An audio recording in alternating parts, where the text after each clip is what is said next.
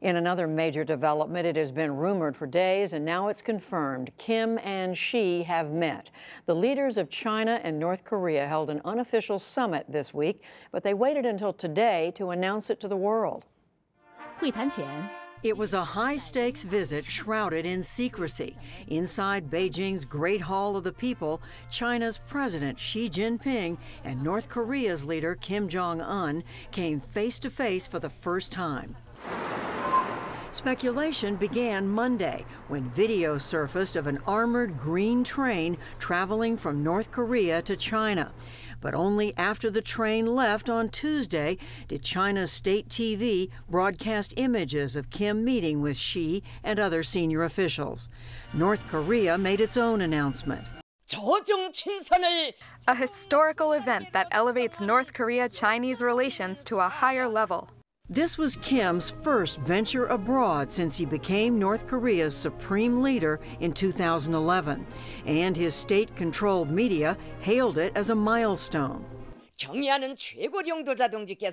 Dear Supreme Leader said that he wants to meet President Xi Jinping and other Chinese comrades more often. China has long been North Korea's ally and patron, but tensions mounted as Kim built a nuclear arsenal and tested missiles against Beijing's warnings. During the visit, however, Xi and Kim toasted the friendship between their countries. Moreover, Chinese state news quoted Kim as saying if South Korea and the United States respond with goodwill, the issue of the denuclearization of the Korean Peninsula can reach resolution. China also said Xi applauded Kim for, quote, promising changes in the situation and offered to help. President Xi highlighted that China will continue with its constructive role and stands ready to work with all parties, including North Korea.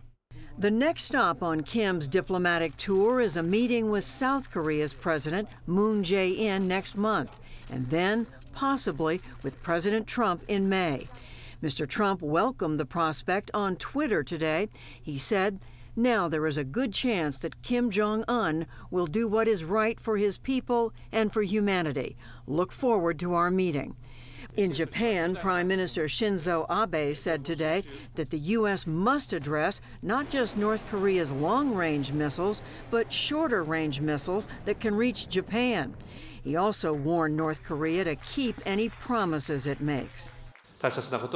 What's important is not dialogue for dialogue's sake, but to achieve nuclear and missile dismantling in a completely verifiable and irreversible way.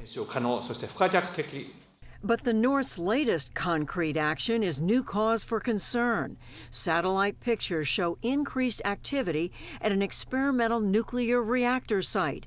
And according to reports, another reactor may have resumed producing plutonium that can be used in nuclear weapons.